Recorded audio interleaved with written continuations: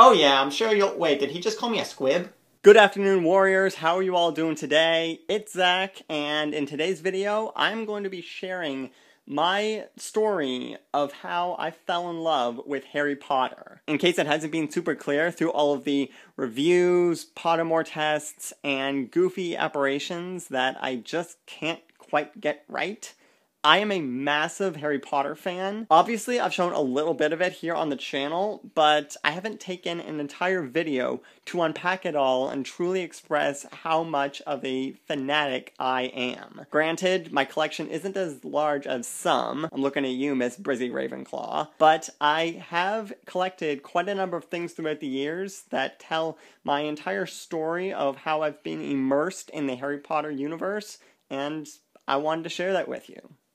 For me, this whole adventure started back in the year 1998 or 1999 in either grade 3 or grade 4 with the first four Harry Potter books that I actually got from my sister. Being introduced to a story of an outcast kid with a wild imagination really connected with me and it probably helped a bit that I was already into Pokemon, so fantasy wasn't a far stretch from that. Once I started reading The Philosopher's Stone, I had a really hard time putting them down. I would constantly be reading through recess breaks, through lunch periods. You could say I had a tiny little obsession. Try Grawp sized. Ah! Who are you? Easy there, Dottie. I'm the wizard version of you. You know, the one that comes out in these videos every so often. Have you never noticed that our magic works a little bit better when you're wearing the necklace and these glasses? Maybe a little bit. Well, there you go. If you've been a part of me every time I go to make a Harry Potter video, why are you suddenly deciding to come out now? I don't want you flubbing up key details of my existence. Face it, your head can be full of Wrackspurts sometimes. Eh, fair enough.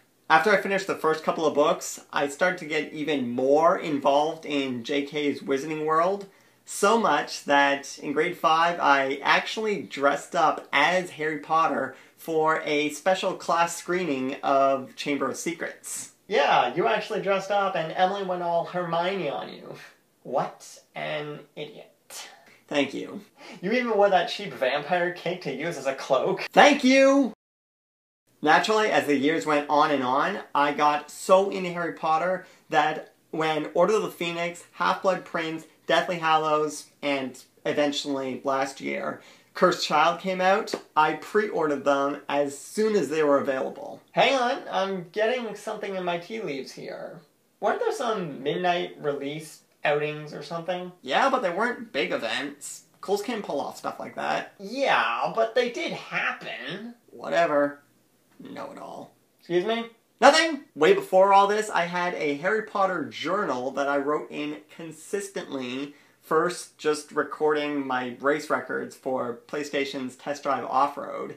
Then I actually started to journal in them and keep track of my days. I still have to make a reaction video to some of those. And eventually I picked up some light reading with Quidditch Through the Ages, Tales of Beedle the Bard, and the Fantastic Beasts and Where to Find Them textbook that they actually use in the Harry Potter movies. Not that we've ever seen them use it, but it's by Newt Scamander, so you know it's the one they use. Then, of course, there are the movies, and naturally, I have every single one of them. The first two, Chamber of Secrets and Philosopher's Stone, I actually have on full screen, because that was back in the day when you had the box TVs, and full screen was the option to go with. Remarkably, I only went to the midnight release for one of them, the first part of Deathly Hallows, and those two movies were the only ones I got on Blu-ray.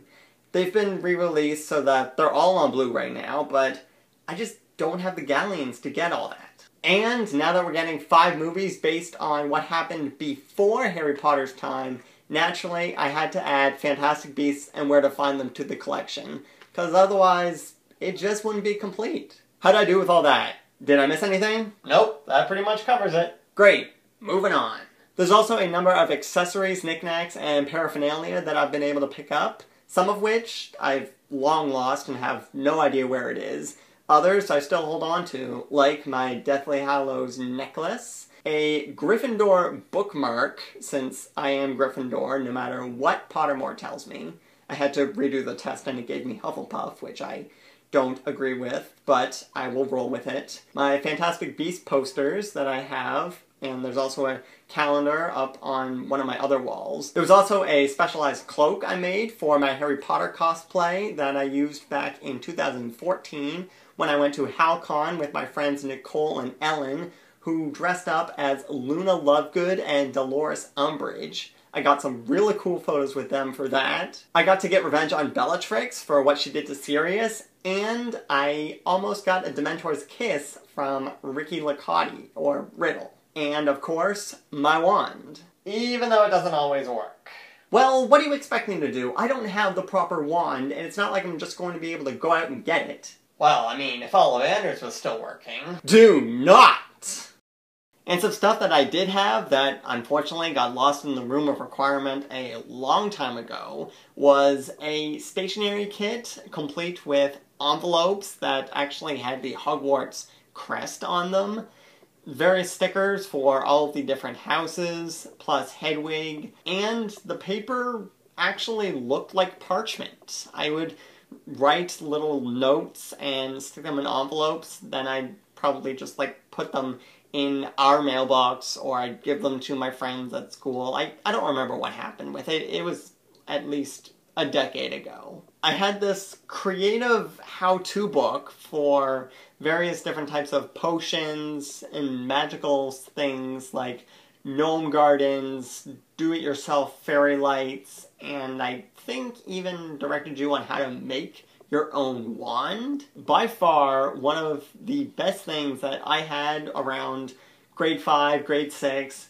was a ton of cards for the Harry Potter trading card game. I had a mat that you would lay out and you could cast spells and summon fantastic beasts with lesson cards, similar to how you would play Magic the Gathering. I would build my own decks and then let my friends borrow them so I could actually play against someone as opposed to just by myself. Personally, I remember it being a lot of fun to even just collect the cards, let alone play with other people. And every time we had allowance, we would get a couple of packs from the dollar store. Those were good days. Yeah. That's pretty much it. All of my Harry Potter collection laid out for you guys, my story told to the universe. I hope you guys have enjoyed this little memory trip down Diagon Alley with me. I know I wouldn't be the person I am today if I hadn't have been introduced to Harry Potter at such a young age going through years of reading, watching, being immersed in the community that J.K. Rowling has created. Meaning, I wouldn't exist, and what a Cho Chang crying shame that would be. Okay, now I see where people get the pompous Gryffindor idea from. Thanks for helping out, wizard me. Hey, what are good wizards for, right? Catch you next time, Squib. Oh yeah, I'm sure you'll- wait, did he just call me a squib? If you guys enjoyed this video, make sure to punch the like button, and if you are a huge Harry Potter fan like myself, let me know down in the comments what your favorite Harry Potter memory is. Was it a midnight showing? Was it a book release? Or was it one of the many trips to Harry Potter Land in California or Orlando, which I still have to get to. It is on my bucket list. I need to make it happen. I look forward to hearing about all the awesome opportunities you guys have had in the Harry Potter world, and if you like this style of video, please let me know. I really want to branch out creatively in my content and be able to express what I'm passionate about in a way that's both exciting for me and stretches me as a person. That's one of the things I really hope to be able to do with these videos, encourage you guys to keep stretching your boundaries, and hopefully I'm doing that. I'll see you guys in my next video. Live to be different and be who you were made to be.